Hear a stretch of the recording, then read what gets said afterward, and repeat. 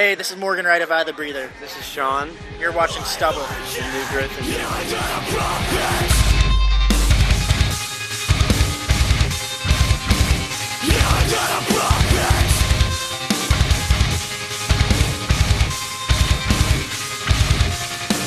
Hey, it's the Jeff with Stubble's Musiczine, and I'm at the Rockstar Mayhem in Mountain View, California, at Shoreline Amphitheater, and I'm hanging out with.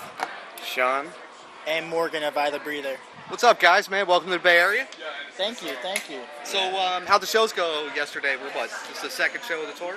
We're playing the Sumerian stage, so uh, you know it's it's it's a, it's a tent stage, so um, you know you're kind of limited as to who you can play for. But the turnout was amazing, you know, Yeah, and kids were good. super receptive and got into the music a lot. So it was, it was a good time. Good first show. How long have you guys been around? Three years. Three years. Three years. August of 2009 is when we formed. So, your latest album is Truth and Purpose. Came out earlier this year, Yep. and um, so you want to tell us a little bit about that? Yeah. You want Um, it's a pretty straightforward album. We wrote it about like how we feel about things that are going on in uh, the Christian market right now, and things that we don't think is right, and how people are just pushing people away for things that they don't think is right. And um, it's an album that we all put a lot into, and decided that you know we're, weren't going to hold back on this album. We were going to write what we wanted to, and like you know get get the feelings out that we wanted to, and not have anything hold us back from saying what we believe, you know?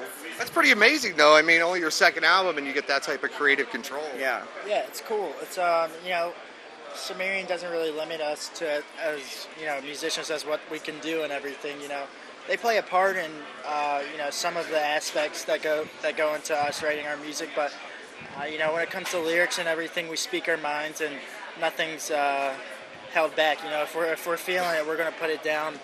Uh, on the CD and it's going to come out the way that we want it to come out. So it's really real and um, you know speaks. You know it's titled Truth and Purpose for a reason. So it, it, it definitely speaks to a lot of people.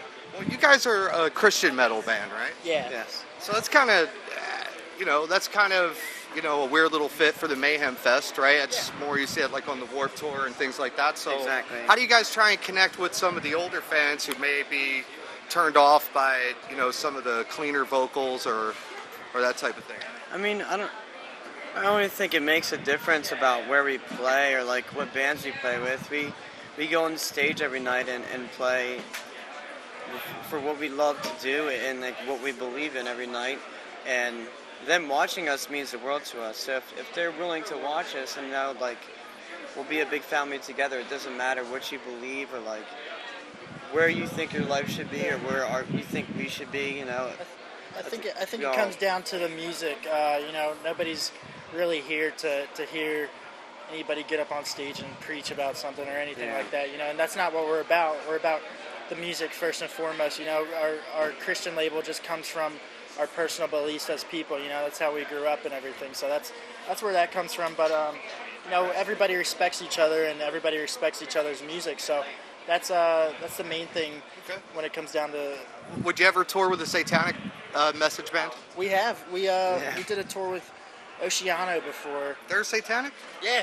They're pretty they're Yeah. pretty intense, man. Yeah, they're pretty pretty intense. crazy, but um Some of the coolest guys I've ever met. yeah, though. some of our best friends, you know, they didn't look down upon us for our beliefs or anything, you know, they Vice versa, I take Yeah, it. right? exactly, of course exactly, not. man. Yeah. Cool. All right, that's cool. Yeah. Um, hey, just give me a quick day in the life of Mayhem, right? You're you fin- just finished your set. Just give it to me from till you start your next set the next day. Why don't we just, dude? Why don't we're just gonna start at the beginning of the day? You start wherever you want. Well, I, me personally, and a couple of other people from our tour package, we have three bands on one bus. It's 26 people. All right, wait, take one second. Start. Have we got time? All right. All right, we, we wake up, I run, eat breakfast. Then the whole entire package wakes up. We set up our stage from the speakers to the wiring to everything. Then we uh, eat lunch, do press, do a signing, play our set, pack down our stage, pack up our gear, and repeat it the next day. Sounds like a pretty full day. A lot, a lot of downtime, huh? Yeah, it's pretty busy. Uh, you know, you, you try and fit time in there to watch bands um, in between like everything. So say like after this, like I'll probably go watch um, Upon a Burning Body in Whitechapel on the Jaeger stage. And I highly recommend at 2:30 you go check out the uh, band of Orcs.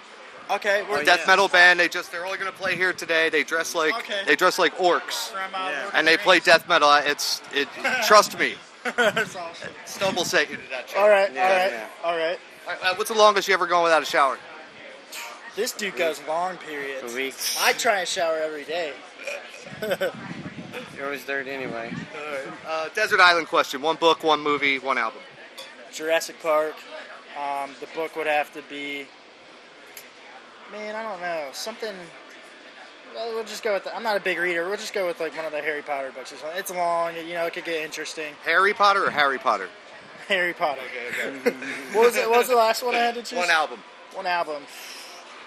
Say uh, Blink 182. Take off your pants and jacket. All right. Um, what hologram would you guys tour, tour with? Dude, Tupac, man.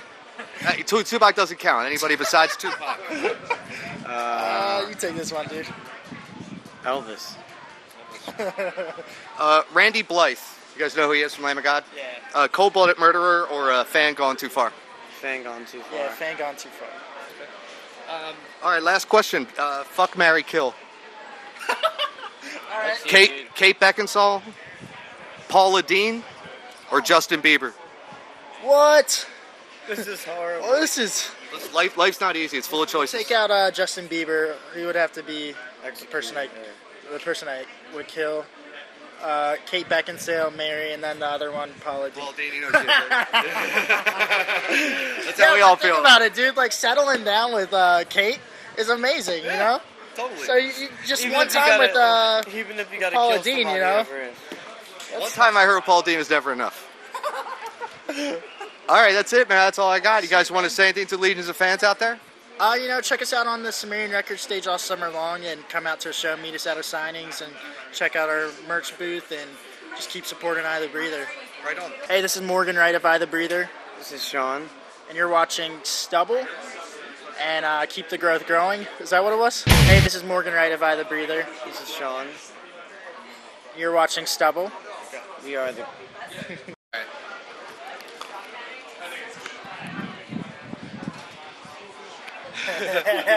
this is live. This is happening. All right, I thought that was my phone. I almost picked it up.